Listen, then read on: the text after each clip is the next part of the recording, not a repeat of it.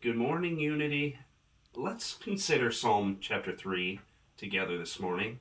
King David wrote this psalm when he fled from his son Absalom, who had been rebellious and created a conspiracy against his father and the throne.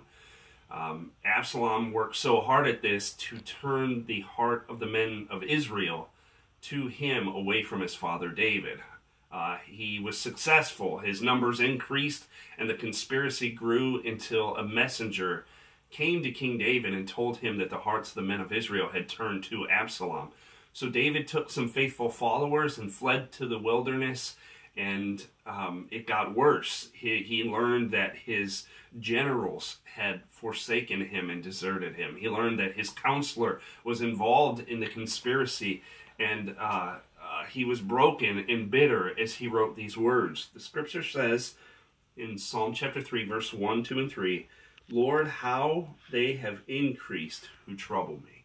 Lots of enemies. They increase. Many are they who rise up against me. Many are they who say of me, There is no help from God. That was their claim, that no help was coming. The Lord had also deserted him. Selah. But then I love verse 3. It says, But you, O Lord, are a shield for me.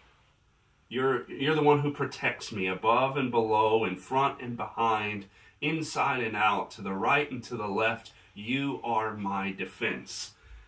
Um, see, he complained in verses 1 and 2, but this is his confidence. The Lord is his shield. He says, You're my glory. You're the one that will bring honor when all of these shame me. And then uh, my favorite part of the verse is when he says, Lord, you are the one who lifts up my head. You're the lifter of my head. So Charles Spurgeon also wrote this that when we're shamed, the Lord lifts us to honor. When we're sick, the Lord lifts us to health. When we're in sorrow, the Lord lifts us to gladness.